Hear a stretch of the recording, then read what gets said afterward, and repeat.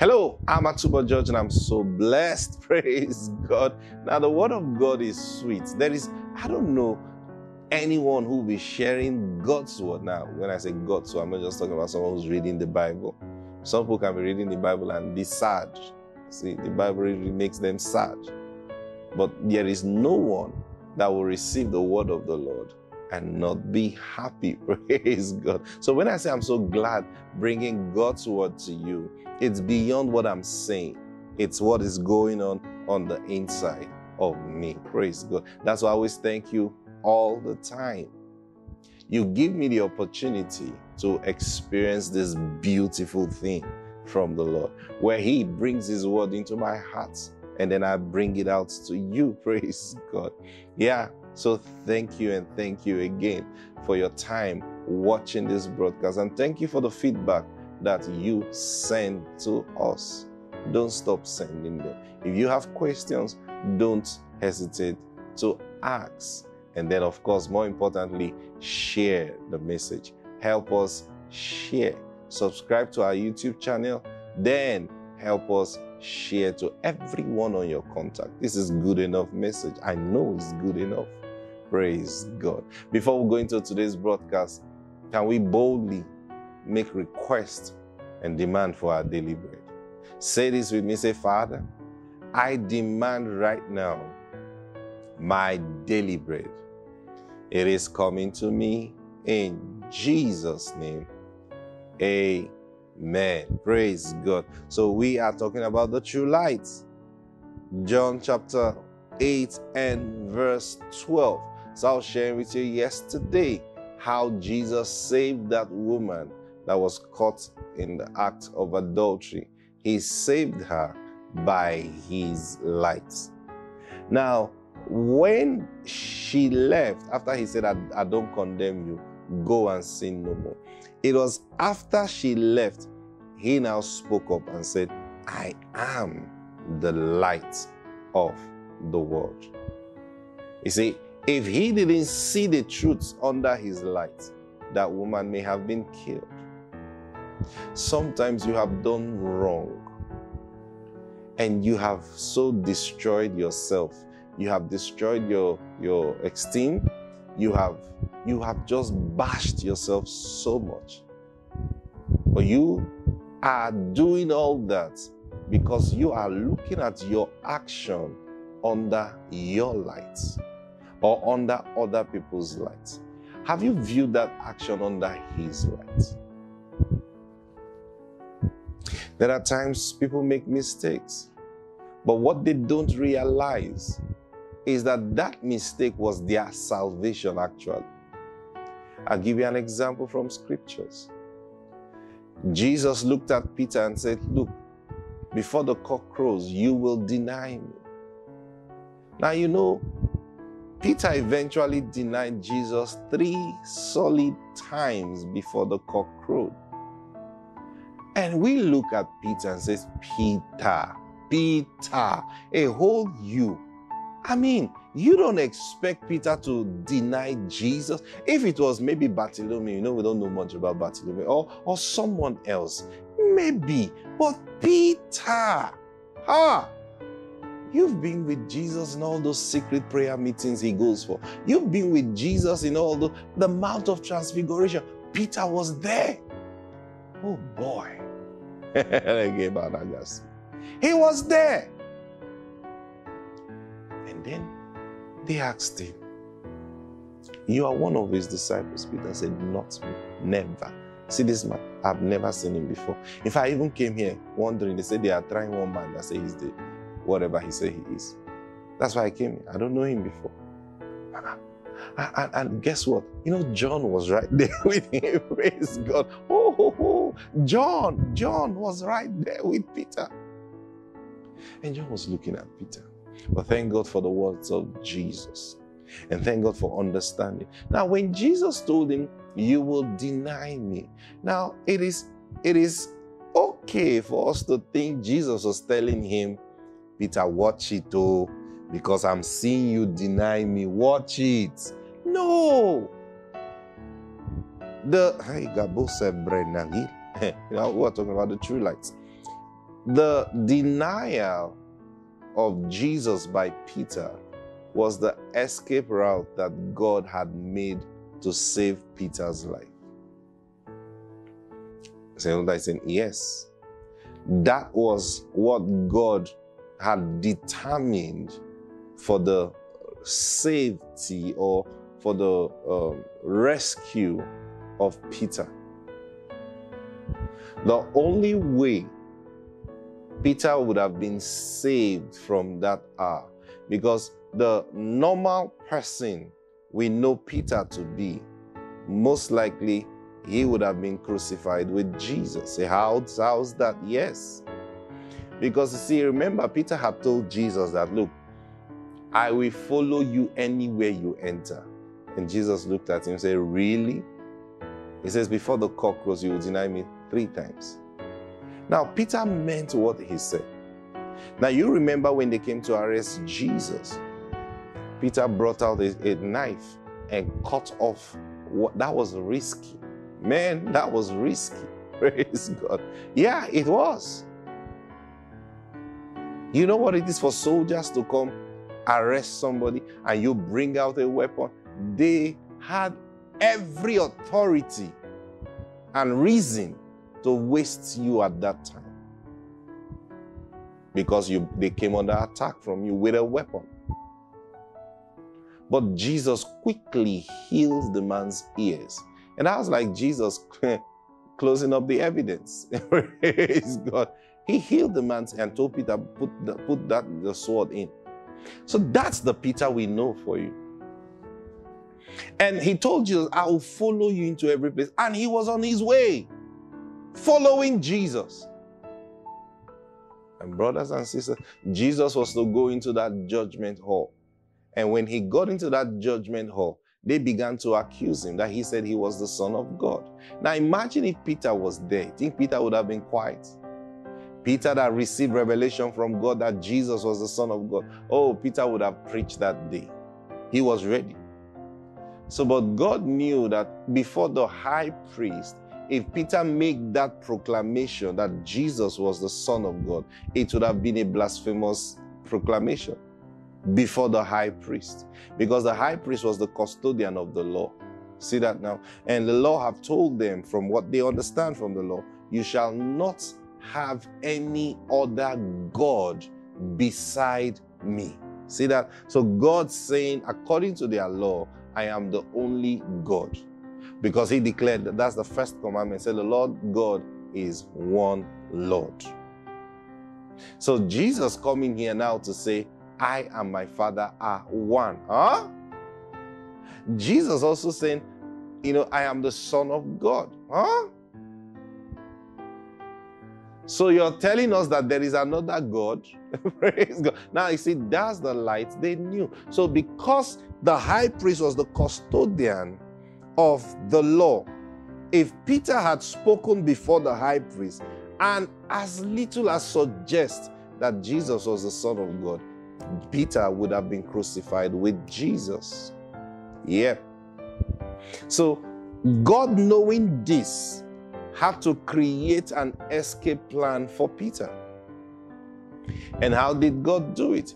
God invited eh, the one he normally sends on all those dirty jobs. He said, God sent, yeah, Satan, praise God. So, so now Jesus had said, look, the book of Luke told us this.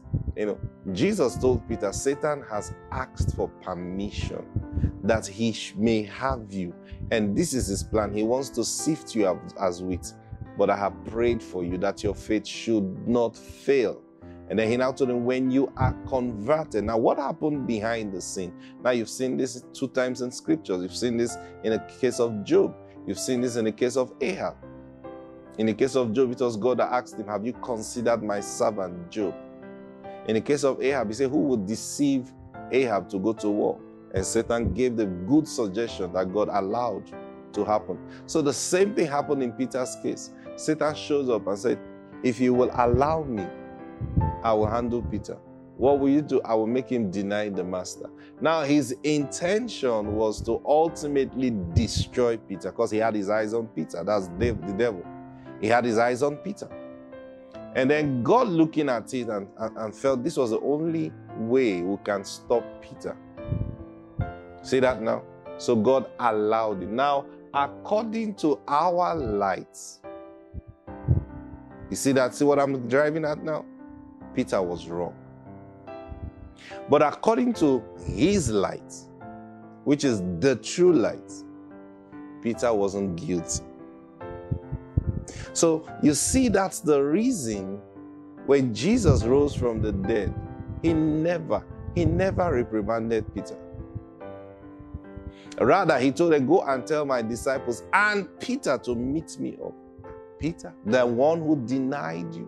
Didn't you know he denied you? He says, Tell him also to come and meet him. And God still did with Peter's life what he intended to do with Peter even before this whole betrayal thing happened. He had said, Upon this rock I will build my church, and the gates of hell shall not prevail against it. What he meant by that is, Peter, I'm going to make you the point man for the build, building of my church. What does it mean, the point man? I will put my voice in your mouth, and you will give the brethren direction. That's why on the day of Pentecost, it was Peter that spoke up. That's why, you know, when Jesus, remember when Jesus came to them and they had gone back fishing, it was G- Peter Jesus held accountable. When he told him, Do you love me more than this? Feed my sheep. So that's what he meant that upon this rock I will build my church. Now, Satan knew that and wanted to attack that also. So when God gave him that permission, he felt that he is gotten Peter. But he didn't know that God set a timing for that betrayal that denial. God set the timing, and the timing for that denial or for Satan to have rule or power over Peter was the crowing of the cock. The crow of the cock. The moment the cock crows, that was the end of Satan's activity over Peter's life. So that's why Jesus gave him that timing. Now, Satan didn't know this. Praise God. He just felt, look, I'm going to make this guy deny the master before that cock crows. I'll do it. And he did it the first time, did it the second time, and did it the third time. But God saved Peter. Praise God. Now, why did God say? Because God did not find any fault in what he did. Isn't that amazing? Praise God. Why? That was the true light. So I say again, how many times have you condemned yourself because you did some action and according to your light is wrong? Have you taken that matter to Him? Have you taken that matter for Him to view under His light? Praise God. A lot of people have limited their lives a lot of people have told themselves they can never achieve much in life because of some wrong they did before. Someone has believed that she's done several abortions, so she can never have a child.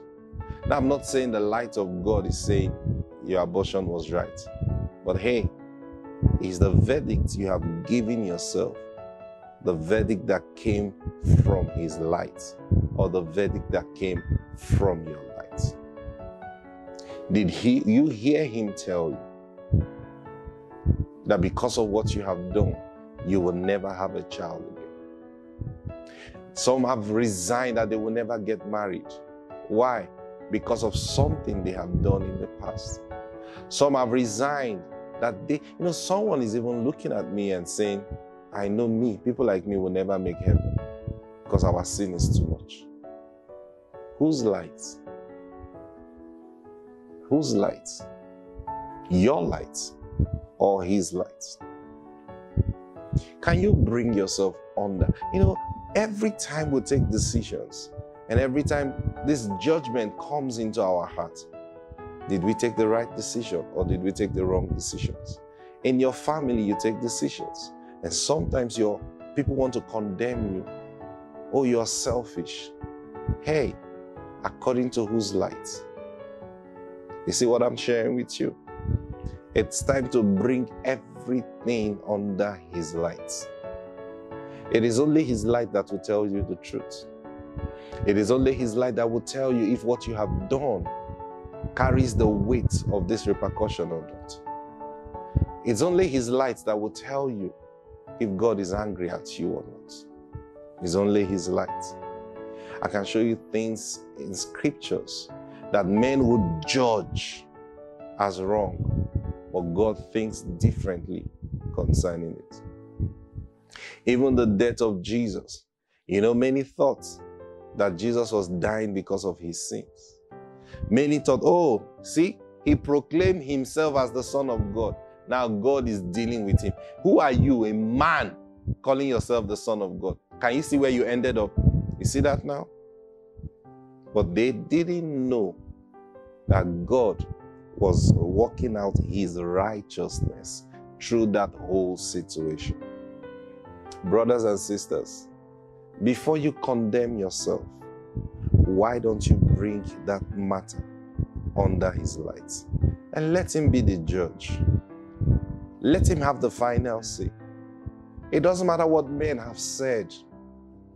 It doesn't matter what anyone have told you. You by yourself, you can take that matter before him. Let him view it under his light and let him give the verdict. Only his verdict will stand the test of time.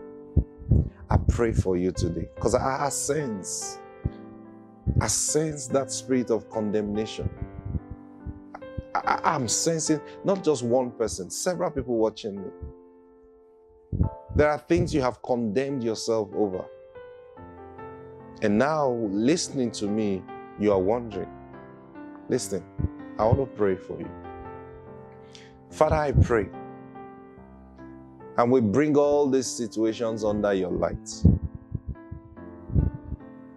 Lord, speak from heaven. And let your light shine on these situations.